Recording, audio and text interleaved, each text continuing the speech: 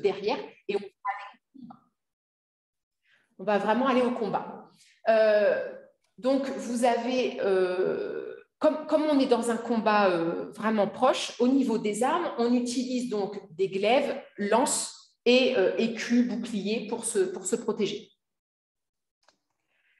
Alors, du coup, eh bien, je vais vous présenter des exemples de villes fortifiées depuis l'époque gallo-romaine. Et tout au long de la conférence, je vais vous présenter en fait plusieurs châteaux forts pour voir l'évolution. Évidemment, je ne peux pas tous les présenter. Euh, tous sont très intéressants, euh, ont une histoire très intéressante et une architecture intéressante, mais j'ai dû faire des choix. Donc, vous n'hésiterez pas en fin de conférence, euh, bien sûr, à, à présenter peut-être vous des châteaux un peu coup de cœur que, vous avez, que vous avez visités peut-être. Alors, Première enceinte gallo-romaine, donc un rempart euh, à Toulouse qui est construit dès le 1er siècle.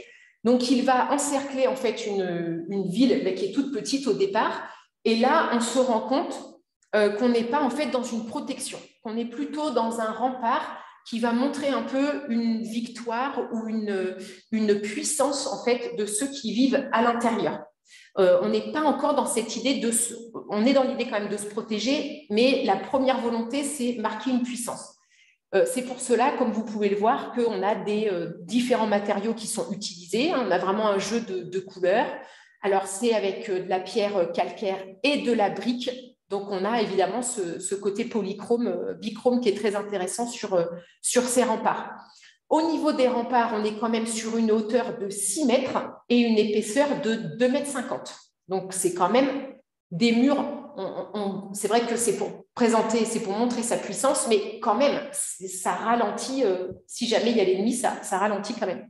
Voilà, donc 6 mètres de haut, c'est quand même important. Ça demande beaucoup de matériaux, évidemment, et ça demande une construction euh, quand même très, très, très, très longue. Alors, au IVe siècle, là, ça a une volonté défensive pour Toulouse. Donc, au IVe siècle, euh, ce mur en fait est renforcé par des tours, des tours qui sont euh, vraiment flanquées euh, sur, sur le mur, qui servent de protection et donc d'endroit où on peut attaquer l'assaillant. Autre exemple, alors vous avez remarqué aussi pour les habitués, je parle souvent de Noyon parce que j'ai guidé là-bas et Noyon a un patrimoine vraiment très très très, très riche de l'Antiquité jusqu'à nos jours et il y a énormément de choses à dire. Donc je voulais vous présenter le rempart gallo-romain qui est visible surtout dans les caves euh, autour de la cathédrale, euh, mais qui est aussi visible en extérieur à certains, euh, à certains endroits. Donc sur la photo de gauche, vous avez la partie sous, la, sous le niveau de terre actuel.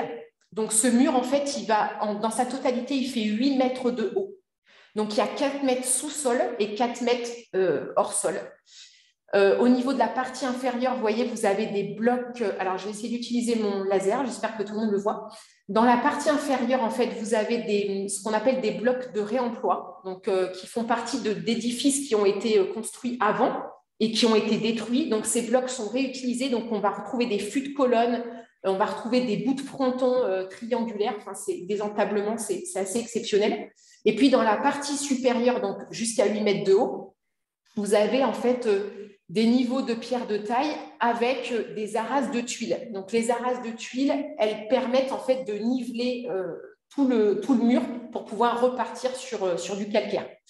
Voilà, donc c'est quand même un édifice important. Au pied de ce rempart, on a trouvé énormément de choses parce qu'on est dans le quartier euh, épiscopal, on est vraiment dans le quartier euh, cathédral. Donc, on a retrouvé notamment un jeu d'échecs euh, du XIIe siècle. Donc, c'est-à-dire que l'évêque jouait aux échecs, ce qui est énorme, hein, parce que les jeux de, hasard et stratégie, c'est pas trop conseillé dans, dans, la grande famille de l'Église. voilà, mais on a retrouvé aussi des ossements. Donc, on sait qu'il y avait des ossements d'animaux. Donc, on sait qu'il y avait un abattoir en fait juste à côté. Bref, en tout cas, euh, dans la euh, photo de droite, vous avez le tracé du rempart gallo-romain. Donc, c'est pour ça que je vous ai mis cette vue aérienne, parce que vous voyez, toutes les maisons, en fait, ici, euh, c'est les maisons du centre-ville, elles sont adossées au mur, au rempart du, du IIIe siècle. Et sur cette partie-là aussi, ce qui dessine aujourd'hui le parvis de la cathédrale, eh bien, pareil, les maisons des chanoines qui sont restées dans leur jus, elles sont adossées aussi au mur, au rempart. Donc, quand vous allez dans les caves qui sont voûtées, hein, les caves des maisons des chanoines, vous retrouvez en fait le rempart du IIIe siècle. Voilà, donc là, c'était euh, plutôt défensif. sachant que sachant que Noyon, avant, ça s'appelait Noviomagus, ça voulait dire le nouveau marché, et donc c'était un lieu de passage sur une, grande route. Alors, autre rempart, c'est le troisième que je présente. Hein, je vous dis, je ne les présente pas tous, sinon ça serait trop long.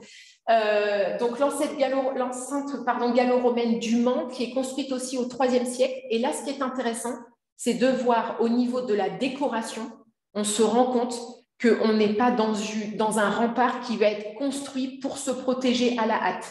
Là, on imagine bien qu'on n'a pas les assaillants qui sont sur le point d'arriver et vite, vite, on construit un rempart vous avez vu cette qualité en fait de maçonnerie et surtout on va faire un décor, on va jouer sur l'utilisation des matériaux de différentes couleurs et créer en fait cette espèce de décor là tout le long du, rempart. C'est assez exceptionnel.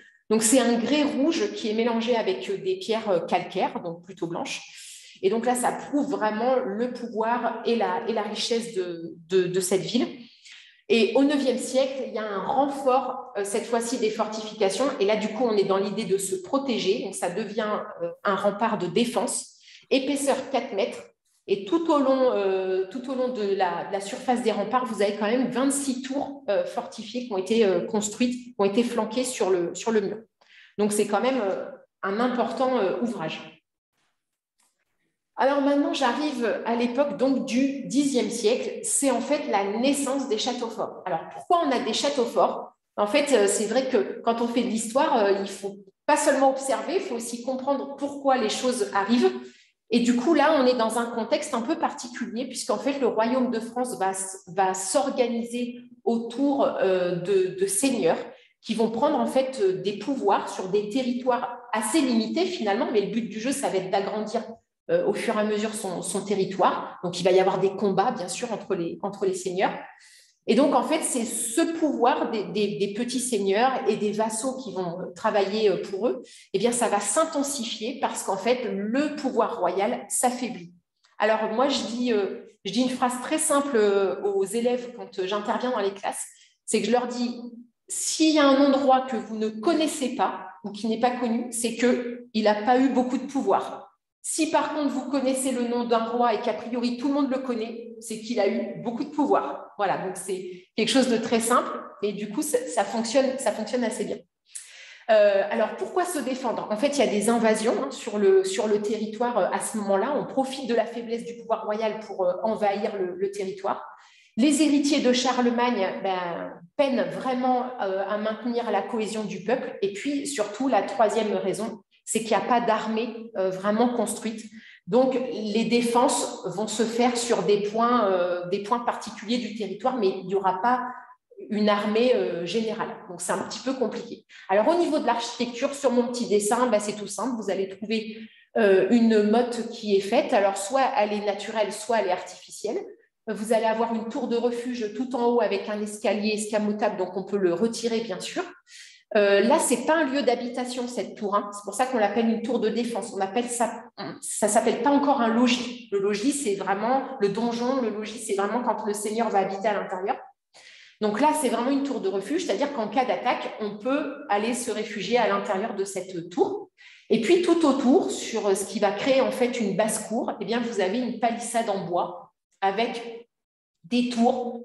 Euh, il n'y en a pas systématiquement, mais on peut imaginer des tours euh, comme ça sur, euh, sur la palissade. Vous avez un fossé qui est réalisé ou pas. Parfois, il n'y a pas de fossé. L'idée, en fait, c'est de se protéger des assauts. Et à cette époque-là, les assauts, eh bien, ça se fait plutôt avec des arcs, des flèches et des arbalètes portées. Donc, c'est ce qu'on appelle des armes de trait. C'est-à-dire qu'en fait, on, exerce une pression sur nos muscles pour faire une pulsion et pour envoyer l'arme au loin. Donc là, vous voyez qu'on n'est plus, vraiment dans du combat rapproché, quoique il y a quand même les combats des, chevaliers euh, à cheval. Mais c'est vrai qu'on va plutôt utiliser en fait euh, ces, armes-là. Euh, donc c'est un projectile.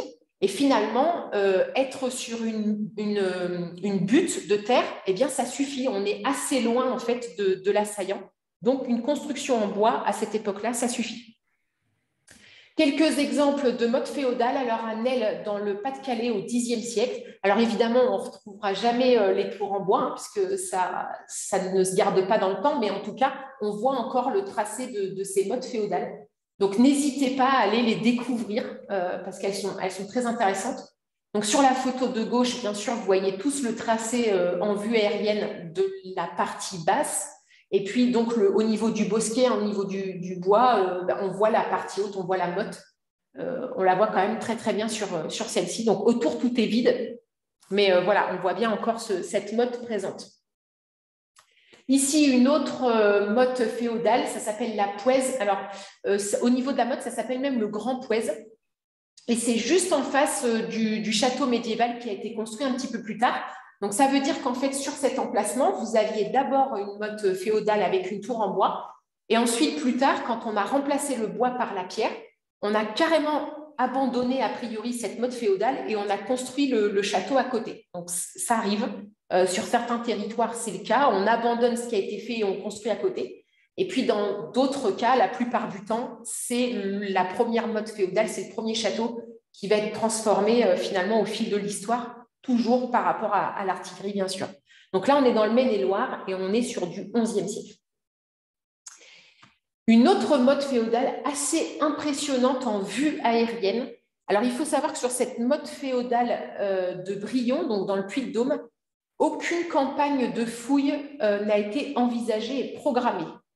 Mais à mon avis, quand on voit les marques euh, depuis le ciel, on imagine ce qu'on pourrait trouver parce qu'on voit très bien sur la photo de gauche, vous voyez toutes les, euh, marques en fait qu'on voit dans le sol, même si la nature a pris euh, ses droits, eh bien on voit quand même l'emplacement euh, de, cette tour, de cette tour de refuge, hein, donc qui est bien au milieu. Je reprends mon petit, reprends mon petit, mon petit pointeur laser. Donc ici vous aviez une première enceinte hein, pour la cour, pour la haute cour. Ici, vous avez certainement le tracé de la tour refuge. Ici, sur ce qu'on pourrait appeler la basse-cour, mais en fait, c'est à, mi-hauteur.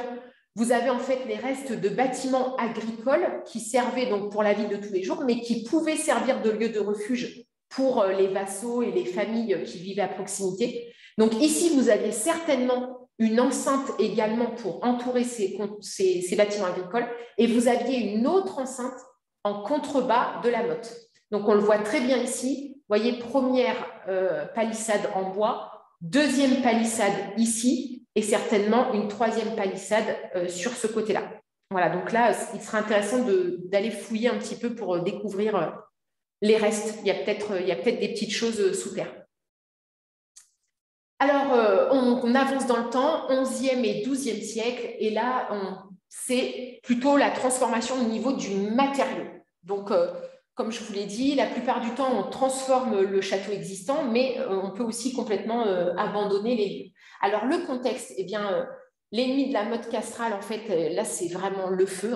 On, on, commence à utiliser, alors on l'utilise depuis un moment, mais ça se généralise finalement d'utiliser des flèches enflammées pour mettre le feu aux différentes protections. Voilà, donc les nouvelles armes, effectivement, à ressort vont faire leur apparition. Le bois n'est plus du tout assez résistant pour ces projectiles très lourds, dont sont des pierres hein, euh, très souvent ou des, arbalètes plus, performantes. Et donc, effectivement, le bois pas, euh, ne résiste pas assez. Donc, on va, pas partout, pas sur toute la structure, mais sur différents points stratégiques, on va remplacer le bois par la pierre. Donc, notamment pour les petites tours euh, qui, sont dans la palissade, on va, ça, va être des points forts, vraiment des points d'appui euh, de protection. Donc, on va remplacer le bois par, euh, la pierre. Et puis surtout, cette fameuse tour refuge va maintenant devenir un donjon. Il sera vraiment construit en dur. On aura toujours un escalier euh, escamotable hein, qui peut se retirer au cas où. Mais voilà, on est vraiment dans, dans un logis. Alors, on ne peut pas vraiment parler de donjon confortable, mais quand même, le seigneur et sa famille vivent à l'intérieur. Et puis en contrebas, dans la basse-cour, vous avez toujours les bâtiments agricoles, vous avez quelques familles, quelques soldats qui vivent avec lui, et sinon le, reste du village vit euh, aux alentours. Vous allez avoir toujours un fossé qui peut être rempli de douves. Alors, j'en ai pas parlé tout à l'heure, mais c'était le cas aussi pour la motte castrale hein, tout à l'heure.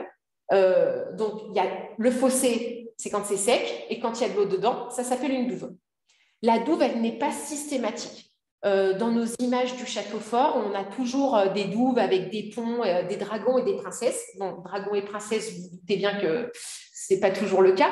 Mais, mais en tout cas, au niveau des douves, ce n'est pas du tout le cas non plus. Enfin, ce n'est pas une généralité non plus parce que euh, pour avoir des douves, ça veut dire qu'il y a une rivière pas loin ou un lac, ou un lac pas loin ou un cours d'eau qu'on va dévier. Donc, vous imaginez les travaux euh, colossaux pour dévier des cours d'eau pour pouvoir faire des douves tout autour de la construction. Donc, ce n'est pas, euh, pas forcément systématique hein, au niveau de la douve. Alors, les armes, donc toujours pareil. Alors, je ne suis pas une spécialiste en armes, donc pour ceux qui veulent apporter des précisions en fin de conférence, ben, vous êtes les bienvenus. Euh, je vous présente deux armes ici, deux armes de trait. Euh, donc, vous avez la baliste qui est sur votre gauche. Alors, j'ai cherché pendant longtemps la différence entre baliste et arbalète parce qu'en fait, il y a eu une confusion à un moment donné euh, de ces deux machines. dans l'histoire et même dans les textes, on retrouve cette fameuse confusion. Donc, a priori, si je, si je ne me suis pas trompée, la baliste, c'est comme une arbalète en fait, mais ça va plutôt lancer des projectiles comme des pierres donc des choses assez lourdes, alors que l'arbalète à tour, elle, va envoyer des flèches, donc des flèches beaucoup plus grosses que celles qu'on envoie euh, manuellement. Alors c'est un système de ressort, hein. donc en fait il y a une crémone, vous voyez, avec un tour, on, tend la peau en fait au maximum euh, de l'arc, et en fait, vous voyez ici, et donc tout d'un coup on relâche, il y a un système pour relâcher, et hop, ça envoie le projectile. Ce qui est intéressant dans ces machines, c'est qu'elles peuvent quand même se transporter, euh, pas facilement, mais en tout cas, elles peuvent quand même se transporter. Et ce qui est intéressant, c'est que vous pouvez vraiment euh, pivoter en fait vers le haut ou vers le bas suivant euh, ce que vous visez. Donc, la manière de viser est beaucoup plus, facile. Alors, 11e et 12e siècle, donc du bois à la pierre toujours. Donc, quelques exemples. pareil, je ne peux pas tous vous les présenter, mais je vais en présenter quelques-uns. Vous avez le château de Loche, qui est euh, dans l'Indre-et-Loire, donc qui est construit au XIe siècle. Le, château de Loche, il a quand même une sacrée histoire, hein, parce que Louis le Bègue, euh, fils de Charles le Chauve, est, euh, passé. Vous avez aussi la grande famille du comté d'Anjou qui s'est créée donc par alliance, bien sûr, dans, dans, ce château.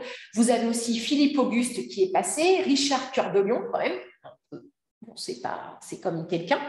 Euh, et puis au XIIe siècle, vous avez Henri II de Plantagenet, donc qui récupère le château puisqu'il se marie avec une certaine Aliénor. Je ne me rappelle plus de son nom de famille, mais je pense que vous aurez deviné. Non, je plaisante. Donc avec Aliénor d'Aquitaine, bien sûr.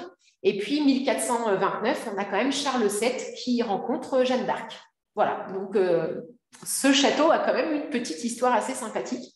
Au niveau du donjon, donc vous voyez, on, voit ce donjon euh, en pierre de forme euh, rectangulaire, pardon, et il mesure quand même 36 mètres de haut. Sachant que le premier étage, vous voyez, est placé ici, donc il y a quatre étages sur la totalité du donjon, mais vous voyez que le, rez-de-chaussée n'est pas au rez-de-chaussée, et donc vous avez cette petite tour sur le côté qui, elle, fait, 20, euh, 25 euh, mètres de haut, il me semble, et du coup, alors bien sûr, elle commence plus bas, hein, c'est pour ça qu'elle paraît euh, beaucoup plus basse. Et en fait, vous pouvez atteindre le premier étage par cette tourelle. Voilà.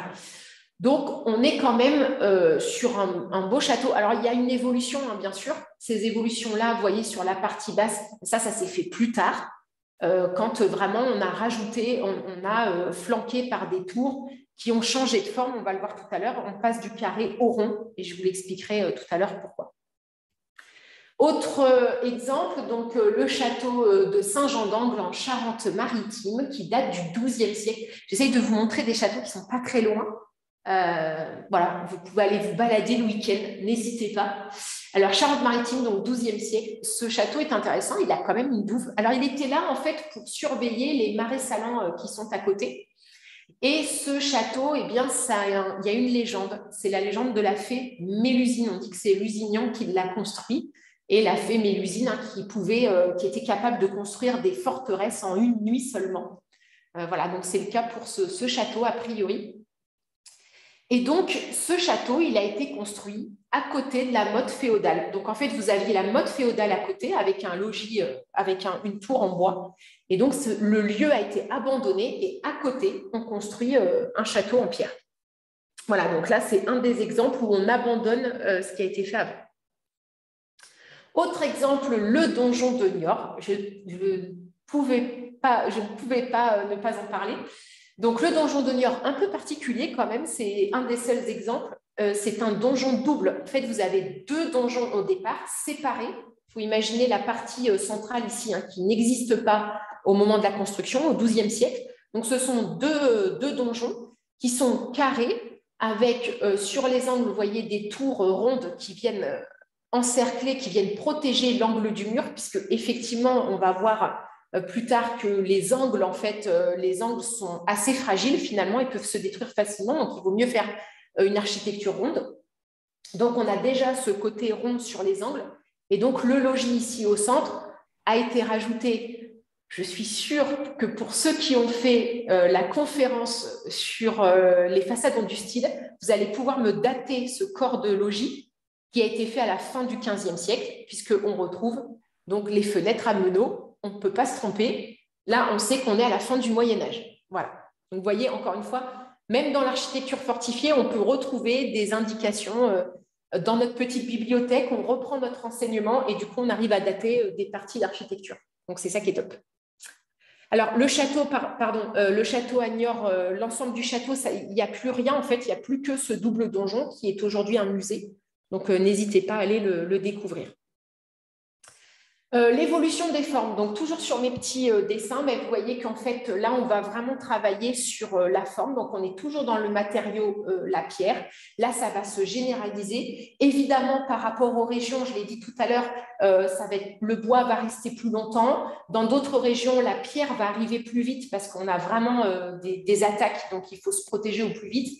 Voilà, donc évidemment, au niveau des siècles, je vous ai mis des dates un peu arbitraires, hein, comme sur une frise chronologique, mais Évidemment, ce n'est pas une généralité. Suivant les régions, ça, pourra changer de 50 ans, voire même 100 ans. Donc, ici, je reviens sur mes formes. On, parle, on part de la forme carrée et on en fait en fait des formes euh, rondes. Donc, effectivement, on se rend compte que les angles sont fragiles, donc on préfère euh, avoir des parties rondes. Et puis surtout, il y a une économie de matériaux, parce qu'une tour ronde demande beaucoup moins de matières premières qu'une tour carrée.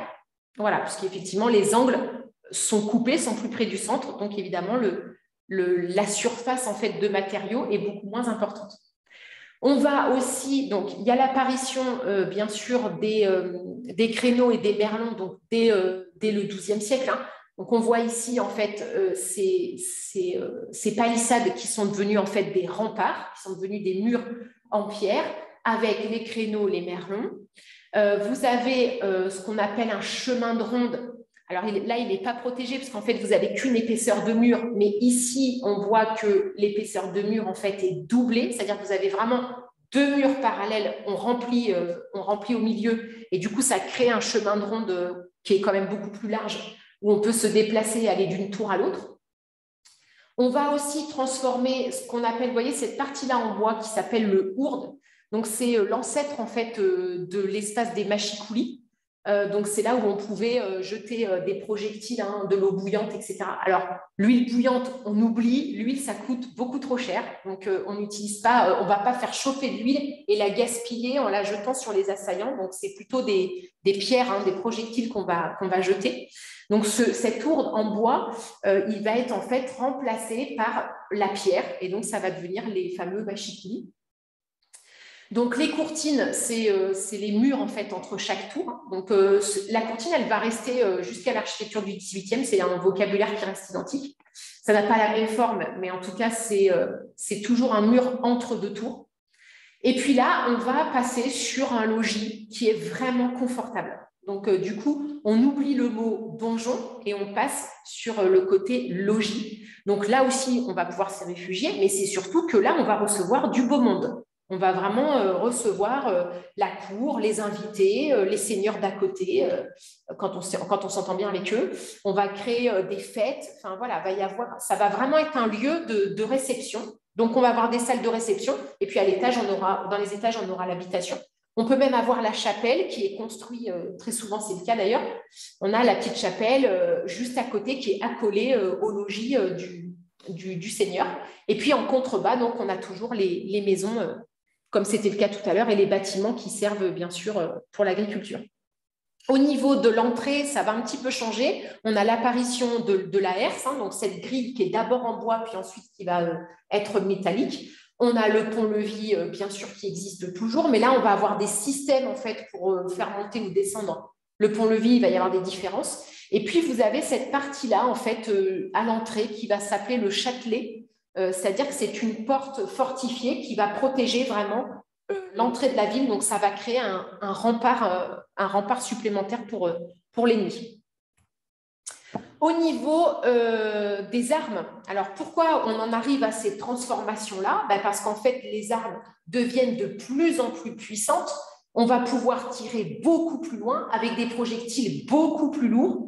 Et donc ici, euh, c'est un trébuchet donc sur la photo de gauche. Hein, donc c'est dans, dans un filet. Vous avez un poids dans un filet en fait, et vous allez catapulter euh, ce filet. Donc il y a un système de balancier qui va qui va se projeter euh, en avant, et puis donc la fameuse catapulte, ça je crois que tout le monde, tout le monde connaît. Donc ça, c'est vraiment des engins euh, qu'on va amener difficilement, d'accord, mais on va quand même les amener euh, près, du, château pour attaquer, bien sûr. Donc c'est vraiment de l'attaque à distance. Donc là, non seulement il faut des murs solides, il faut des murs épais, et il faut quand même garder une certaine hauteur.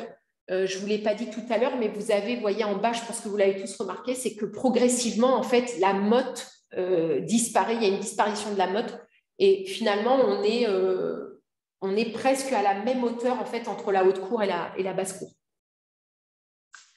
Donc, exemple au XIIIe siècle, vous avez donc Coucy-le-Château, donc là, on est dans l'Oise, on est au XIIIe siècle, et je vous ai mis en photo l'enceinte. Alors, c'est un château qui est en ruine aujourd'hui, mais qui se visite. Il y a énormément de, choses à découvrir.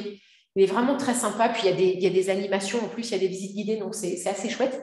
Euh, là, ce qui est intéressant sur ce château, c'est de voir, vous voyez la base euh, des colonnes, en fait, qui est euh, la base des, tours, pardon, qui est en fait épaissie et qui a une forme de pente comme ça. Donc, ça crée comme un, comme un contrefort, mais finalement, c'est pour dévier les projectiles. Et puis, vous avez ce tas de terre, en fait, hein, ici, qui s'appuie contre le rempart et donc qui va bien sûr ralentir, ralentir l'assaillant.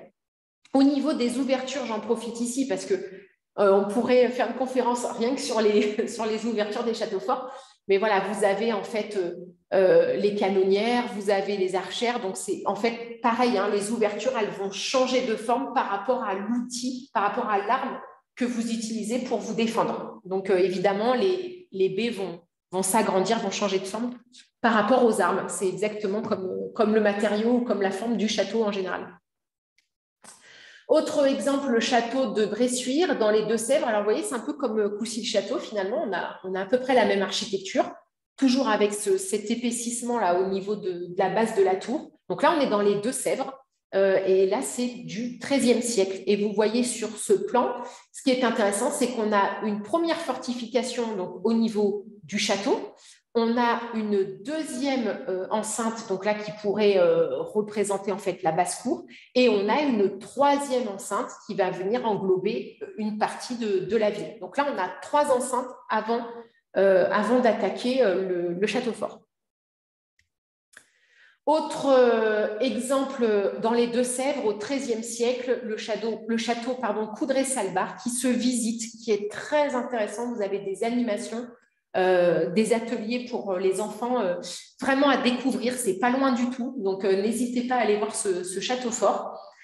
Donc là, on n'a plus, on n'a pas de rempart qui pourrait entourer une, basse-cour ou, ou un morceau de ville mais on voit le tracé ici, que vous avez juste là. Et donc, le château fort, ben, vous voyez, c'est un ensemble en fait de tours dans les angles avec les courtines beaucoup plus basses. Et là, vous avez des, tours quand même dans les angles assez hautes. Donc là, on est vraiment...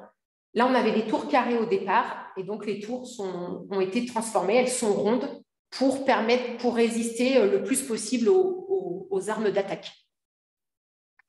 Autre exemple, le château de Castelnau en Dordogne. Il y a énormément de châteaux en Dordogne, donc c'est pareil, allez-y, faites-vous plaisir. Euh, 13e siècle, et là on voit en fait la, transformation progressive. Vous voyez, au niveau du donjon, on est sur des plans euh, quadrangulaires, donc vraiment des plans euh, carrés ou rectangulaires. Mais par contre, on a toujours cette tour d'angle, vous voyez, qui est euh, carrée, qui a été coiffée d'une toiture bien plus tard, évidemment. Ça, ça ne date pas du XIIIe siècle. Et puis, au niveau des courtines et au niveau des tours de flanquement, eh bien là, on commence à avoir des parties rondes.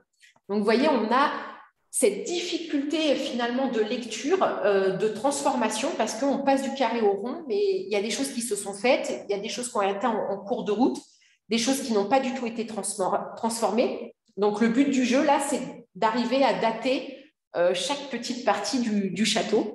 Et voilà, c'est ce qui fait son histoire aussi, hein. donc c'est aussi très intéressant. Donc il y a eu un premier château ici construit dès le XIIe siècle. Il a été détruit puis reconstruit au XIIIe siècle. Euh, les propriétaires, euh, pendant la guerre de Cent Ans, en fait, vont soutenir les Anglais. Donc, euh, voilà, il va être récupéré par l'armée française en, en, 1442. Et du coup, il va être transformé au fur et à mesure, jusqu'au XVIe siècle, il va être transformé par rapport à l'artillerie. Donc, on a vraiment un changement d'architecture en cours. Autre, euh, autre exemple, le château de, de Sanzé, donc à Argenton-les-Vallées, dans les Deux-Sèvres, encore une fois. Il y a beaucoup de châteaux dans les Deux-Sèvres. Euh, donc, 13e siècle, là, on a des douves. Alors là, il ne reste pas grand-chose. Hein. Euh, j'avoue qu'il y a eu beaucoup de transformations. Donc, vous avez le donjon ici. Donc, vous voyez carré, mais ici, on commence à avoir des pans coupés. Parce qu'il faut imaginer aussi une transition entre le carré et le rond. Hein. Parfois, ça passe par l'intermédiaire des pans coupés.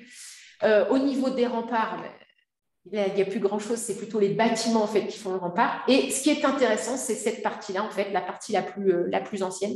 Et c'est ce fameux, euh, je vous disais tout à l'heure, le châtelet d'entrée qui va en fait protéger le pont-levis. Et on voit encore, vous voyez les, fentes ici, hein, on voit le, système du pont-levis en fait qui se, qui se redresse. Voilà. Donc il y a un pont, bien sûr, là il y a des douves tout autour. Alors il y a une petite chapelle aussi, effectivement, il y a une chapelle euh, à côté du donjon.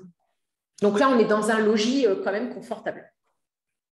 Autre exemple, Carcassonne. J'en parlerai tout à l'heure par rapport à la ville fortifiée, mais là, du coup, je vous présente que la partie euh, château où on voit bien ces fameux tours rondes euh, qui vont flanquer les courtines. Et on a encore les hourdes en bois, qui ont été reconstruits, hein, bien sûr, depuis. Mais voilà, on voit bien ici le, le, qui était là, en fait, avant le chemin de ronde et les créneaux et les, merlons qu'on construit après en poivrière, c'est pareil, c'est un peu plus tard. Euh, le XIVe siècle, donc je vous ai dit, transformation toujours des formes. On a encore ce donjon carré. Donc là, on a un peu une similitude avec Niort finalement, puisque vous avez ces tours rondes au niveau des angles. Euh, et puis, euh, vous avez, donc c'est un château qui est finalement assez ramassé, qui est, qui est, assez petit. Vous avez des douves tout autour et vous avez cette grande tour qui a été construite après, toujours en bois aussi. Et donc, pont-levis, et ici, pour la fin, le pont dormant. Donc, c'est le pont qui dort, c'est la partie du pont qui ne bouge pas. Il n'y a qu'une partie en fait qui, se relève en pont-levis pour, euh, pour fermer l'entrée. Donc là, le pont-levis, vous voyez, c'est une bascule. Hein, mais parfois, on peut avoir un système de, levier, euh, on peut avoir un système de contrepoids en fait euh, en, sous-sol, sous une cape, c'est possible aussi. Donc là, on est aussi dans les Deux-Sèvres. Voilà. J'habite dans les Deux-Sèvres, c'est peut-être pour ça. Alors ensuite, le château de Saint-Mémin, qui est pas loin aussi, au XIVe siècle. Et là, c'est intéressant aussi, puisque vous voyez le haut niveau du plan. On a en fait cette tour euh, avec une face un peu carrée et pareil, hein, euh, deux, tours rondes de chaque côté. Donc vous voyez ici, c'est ce qu'on appelle le châtelet d'entrée, mais qui est vraiment accroché au reste du bâtiment. Et on a ce grand donjon qui est excentré finalement, qui est presque sorti euh, du, vraiment du centre du château, et c'est cette grosse tour. Et vous voyez, là, il y a des transformations. Là, on est au XIVe siècle, mais vous voyez qu'au niveau des ouvertures, là encore, pour ceux qui ont suivi la conférence sur les façades, eh bien, en fait, on a euh, des fenêtres à meneaux. Donc là, on est, on est plutôt au 15e, fin 15e. Voilà, donc il y a eu évidemment des, transformations. Là, on voit très bien, en fait, les machicoulis. Hein, et euh, cette, cette ronde-là tout autour, on peut on peut aller euh, dans la partie supérieure pour, euh, pour se défendre, bien sûr, et pour guetter les arrivants. Autre exemple euh, à donc dans le Morbihan, 14e siècle aussi. Donc, je vous ai présenté un gros plan sur, sur les tours rondes, les machicoulis, donc qui sont couverts d'une toiture en poivrière. Donc là, on commence effectivement à en faire un 14e, 15e siècle. Toujours ces fenêtres à meneaux. Et là, c'est intéressant sur la vue aérienne, puisque donc vous avez des douves. Euh, vous avez ici au niveau du châtelet d'entrée, vous voyez, qui est quand même assez imposant, qui, sert euh, presque qui sert de logis hein, aussi.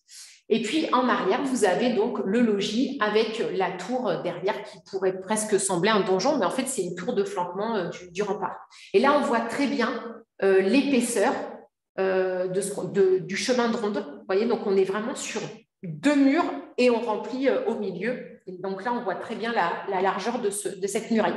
Évidemment, on double l'épaisseur des murs. Hein. On, est sur quelque chose de très épais, puisque vous vous rappelez, on est sur des, des machines à contrepoids qui envoie de très gros projectiles. On a même le début du canon hein, au 14e, 15e siècle, donc euh, il faut effectivement euh, avoir une fortification beaucoup plus importante. Ici, petit coup de cœur, je voulais quand même le mettre, euh, le château du Haut-Königsbourg en Alsace. Je l'ai découvert cet hiver. c'est juste magique en fait. Vous, grimpez, grimpez, grimpez, grimpez, puis tout en haut, vous avez cette, cette, cette, architecture incroyable. Moi, j'imaginais les, personnes là en train de monter les matériaux pour, euh, pour construire tout ça. Enfin, voilà, c'est assez impressionnant. Euh, et puis, il y a en plus une espèce de d'aura, de, d'ambiance en fait quand vous, quand vous pénétrez à l'intérieur de ce château parce que finalement c'est petit, il y a peu de lumière, il fait froid, enfin moi en plus j'y suis allée en hiver, euh, il y avait du, du, gel tout autour, enfin c'était vraiment quelque chose de, de fou. Et, là, il y a tous les éléments euh, du château fort, hein, parce qu'on a le donjon euh, carré avec le logis tout autour, on a la chapelle, on a les cuisines, vous avez les chemins de ronde qui sont recouverts d'une toiture, euh, les tours rondes qui flanquent en fait les remparts, voyez, vous, les voyez qui rythment en fait les, les, courtines. Donc vraiment là, on a tout l'ensemble, et en plus, il y a les armes à l'intérieur, on voit les, les armes de l'époque, c'est des reconstitutions, mais N'empêche qu'on voit la taille des armes. Et voilà, donc c'est vraiment un petit moment là, une petite bulle où le, temps s'arrête. On est un peu comme dans un, dans un livre. Et voilà, c'est très très chouette. Donc euh, je voulais vous le présenter. Euh, j'espère que je vous aurai donné envie d'y aller. Euh, et puis, on arrive au 15e siècle. Et là, eh bien, j'ai envie de parler de cas très particuliers. Donc c'est là où je vais parler de l'île de Ré. Et vous allez me dire, mais qu'est-ce qu'elle nous fait? Elle nous présente des églises. Eh bien oui, parce que sur l'île de Ré, les forts, euh, ce qu'on appelait les castrums dans les, vieux textes, c'est pour ça qu'on a pensé qu'il y avait des châteaux, euh, mais en fait c'était des églises qui étaient fortifiées.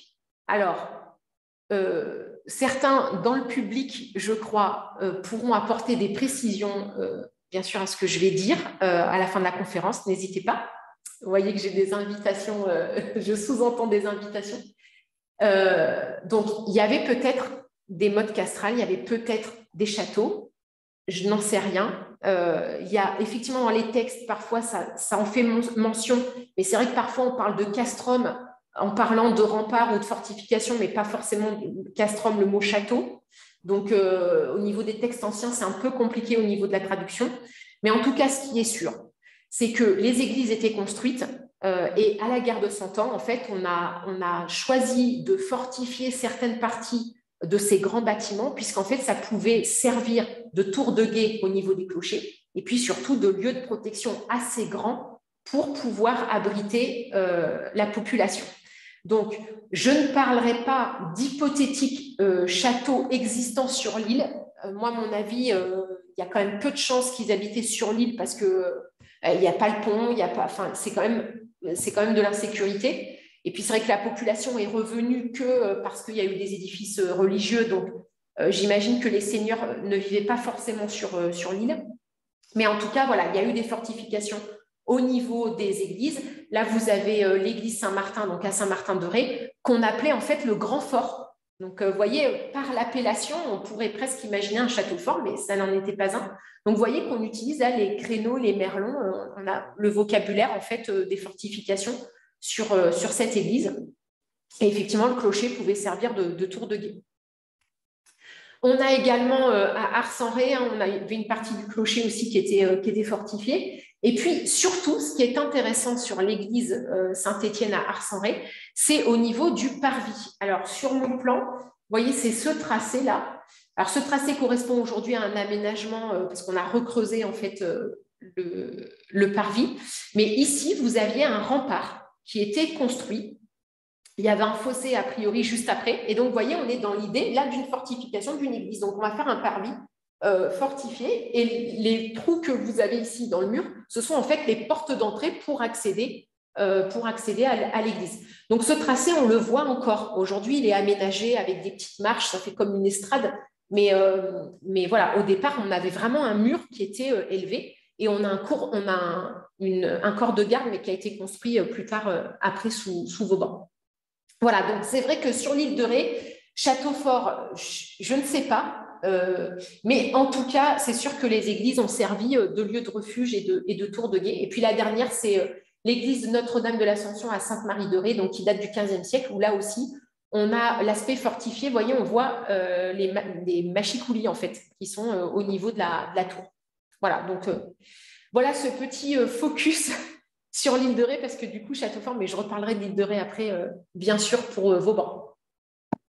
Et on passe maintenant aux villes fortifiées en fait du, XIIe siècle, donc jusqu'au XVe siècle. Et là, on va être plutôt euh, sur, euh, des, euh, sur des fortifications semi-enterrées, puisque au fil de l'histoire, on va avoir l'arrivée du canon.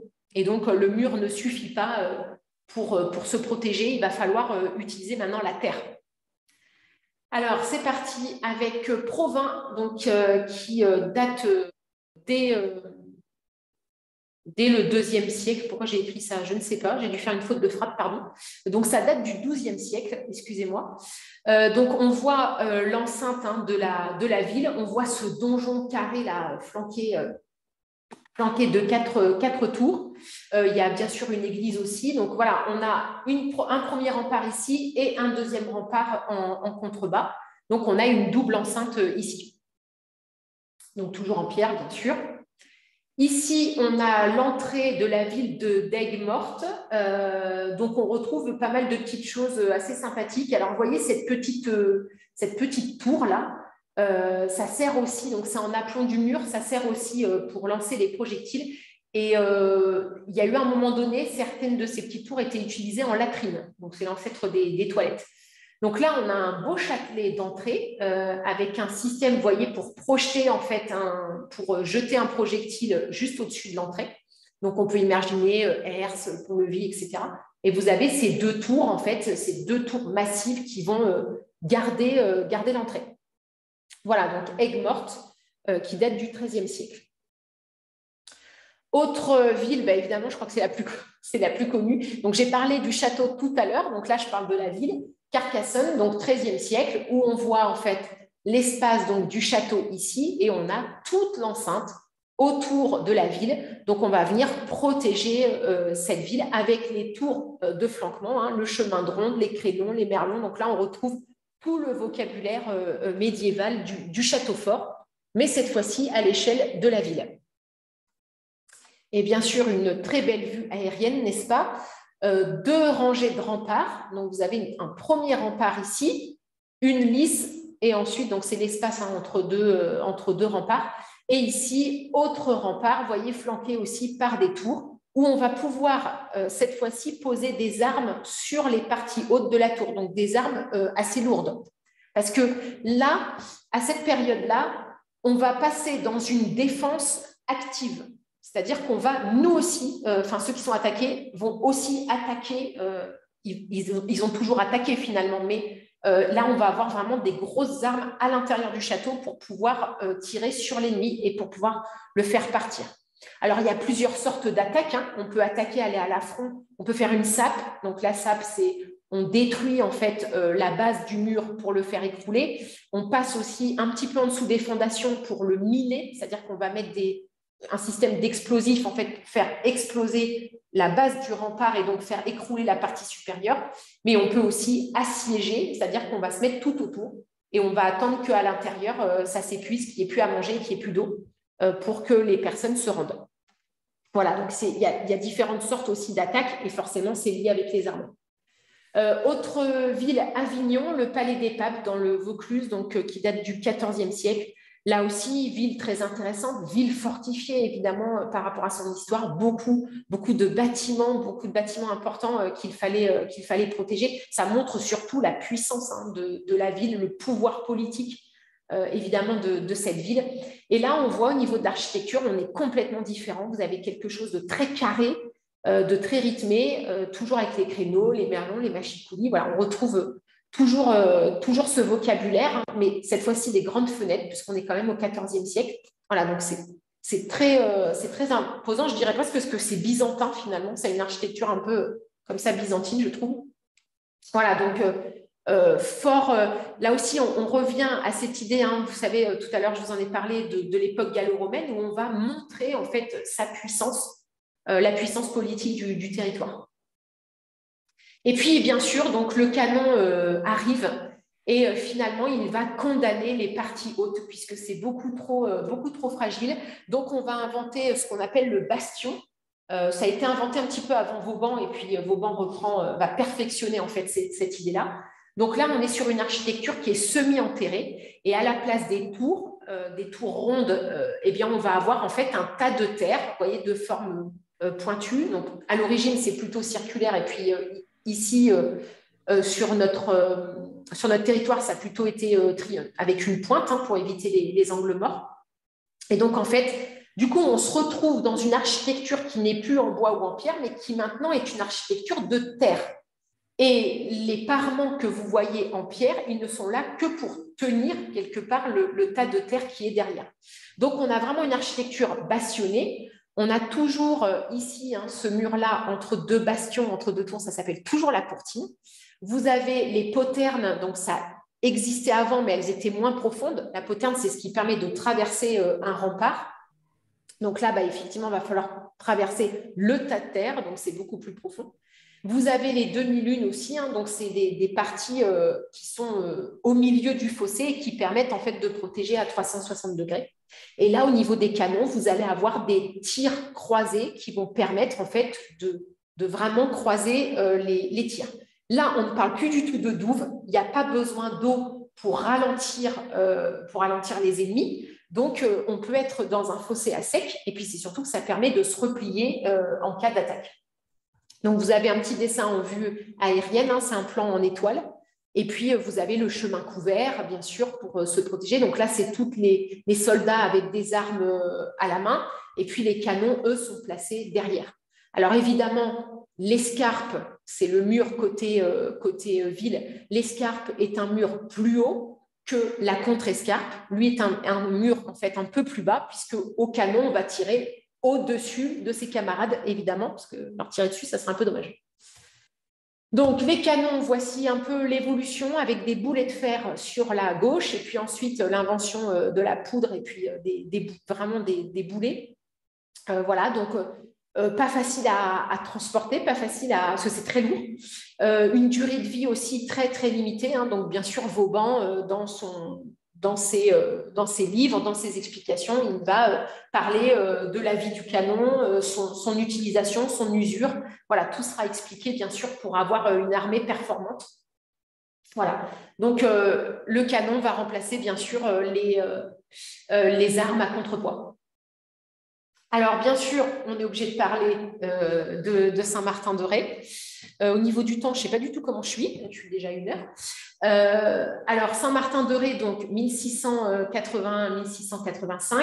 Alors, il n'y a pas que ça dans, l'architecture militaire de Vauban sur l'île de Ré, parce qu'il a quand même construit avant euh, trois forts, euh, trois redoutes, hein. donc une à Sablanceau, une au Martré, donc c'est un peu au milieu de l'île, et puis une au Port-en-Ré à l'autre bout, donc trois forts identiques. Hein. ce sont des forts carrés avec une cour, au milieu, fossé, pont-levis, etc. Et donc, à Saint-Martin-de-Ré, il décide d'en faire une place forte. Et donc, il va créer, il va reprendre son, principe euh, d'architecture euh, euh, bastonnée. Mais la particularité de Vauban, et là aussi, je pourrais en parler encore pendant une heure, mais je vais essayer de faire court, c'est qu'en fait, Vauban va évidemment adapter son architecture au terrain euh, au territoire et à la ville qui existe déjà. Il n'est pas question de tout détruire et de, tout reconstruire. Ça prendrait trop de temps, ça coûte trop cher. Euh, c'est un économiste, hein, euh, entre autres Vauban, donc il va toujours chercher à faire des économies et donc il va adapter son architecture par rapport à l'existant. Donc là, il fait toute son architecture, vous voyez, côté terre, puisque finalement, à cette époque-là, avec l'arrivée du canon, on n'attaque plus par la mer, vous imaginez ici, si vous mettez euh, des galions, des, bateaux d'une flotte, flotte ils vont se faire tirer comme des lapins. Donc, ça n'a pas d'intérêt. Donc, en fait, on débarque un petit peu plus loin et puis on va créer un siège en fait tout autour. Et on va avancer en fait en, zigzag. Hein. On va créer en fait des tranchées en zigzag pour toujours se protéger. et donc, on va essayer d'attaquer comme ça. Donc, ça se fait en plusieurs phases au niveau de l'attaque. Mais en tout cas, lui, il fait Vauban son architecture côté terre, bien sûr, et côté mer, mais il suffit juste de, fermer, avec bien sûr faire des embrasements pour, y loger des canons. Mais voilà, toute l'architecture militaire, elle est plutôt euh, euh, du côté terre. Donc, il va vraiment s'adapter au, territoire. Il y a trois portes d'entrée euh, pour rentrer dans la ville la porte Toiras, la porte de Campanie et la porte royale ici au niveau de la citadelle. Donc, la citadelle, c'était la, caserne, en fait, c'était là où étaient les, les soldats. Aujourd'hui, c'est une prison. Donc, vous pouvez vous balader bien sûr dans les remparts. Pour ceux qui sont dans le coin, qui sont sur le territoire ou qui comptent venir, euh, vendredi, je fais une petite parenthèse, vendredi 20 mai, je fais une, visite guidée des remparts de Saint-Martin. Donc, euh, n'hésitez pas, vous saurez vraiment tout sur euh, cette architecture militaire un petit peu particulière. au niveau des travaux, on est sur quatre ans, donc c'est quand même un travail colossal. la ville était toute petite au départ, hein. elle, faisait, elle avait cet emplacement-là. Donc, vous voyez qu'il a fortifié un espace beaucoup plus grand pour pouvoir vivre en autonomie, parce qu'il pensait à ça aussi, c'est que si, on est, euh, si les habitants sont assiégés, eh bien, dans cette partie-là qui était plutôt vide au moment de la construction, eh bien, on va pouvoir élever du bétail euh, et puis euh, faire pousser fruits et légumes pour pouvoir vivre correctement en autonomie. Mais la ville, au départ, était vraiment beaucoup plus petite. Alors, tout ça, c'est classé au patrimoine mondial de l'UNESCO, bien sûr. Euh, à Briançon, autre exemple. Alors là, on est sur un éperon rocheux. Là encore, euh, là, on est en 1692. Donc, euh, on n'est pas longtemps après, Saint-Martin. Vauban, il a fait quand même plus de 170 villes fortifiées. Donc, c'est quand même pas rien au cours de sa, carrière. Et donc, il a aussi, là aussi, on est sur une architecture bastonnée. Et encore une fois, il va s'adapter au relief, au, au, au terrain, aux bâtiments qui existent déjà. il va adapter son architecture. Vous avez ce qu'on appelle euh, ici le glacis. Alors, le glacis, on le voit très bien sur Saint-Martin. Vous voyez, c'est toute cette partie-là. Là. Donc, en fait, c'est toujours en terre. La partie en terre ici, le glacis, toute cette surface-là, ça fait partie de l'architecture de Vauban. Donc, on n'est pas seulement sur... Là, on est vraiment sur une architecture de terre et les murs sont là pour, euh, pour maintenir. Donc, le glacis, en fait, c'est une pente douce qui va vers la ville ça permet euh, aux, soldats de voir l'ennemi arriver sans être vu. Donc euh, l'idée est quand même intéressante, ma foi. Voilà, donc euh, Briançon 1692. Et je termine par Neuf-Brisac, qui est une ville entièrement créée. Cette fois-ci, il n'y avait rien d'existant. Et là, on voit toute l'architecture de, de Vauban avec sa place d'armes centrale. Au niveau des accès, vous êtes à égale distance de toutes les portes d'entrée pour pouvoir, euh, pouvoir accéder euh, rapidement.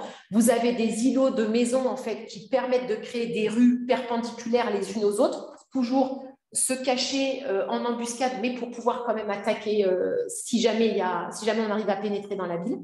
Et puis, vous avez ces deux rangées en fait de fossés. Donc, première rangée ici de fossés, voyez, contre la ville et deuxième rangée de fossés ici. Voilà, donc là, on est encore dans une évolution dans sa propre architecture, dans sa propre conception. Il va encore améliorer euh, cette architecture défensive. Voilà.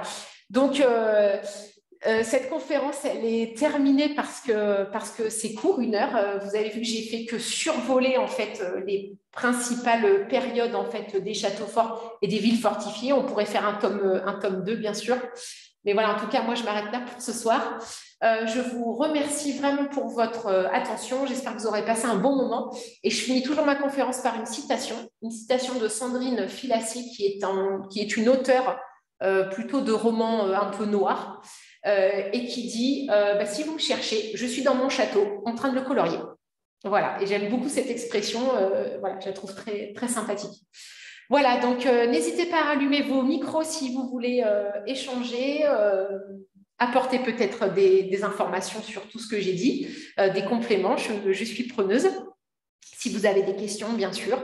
voilà, merci pour votre attention en tout cas.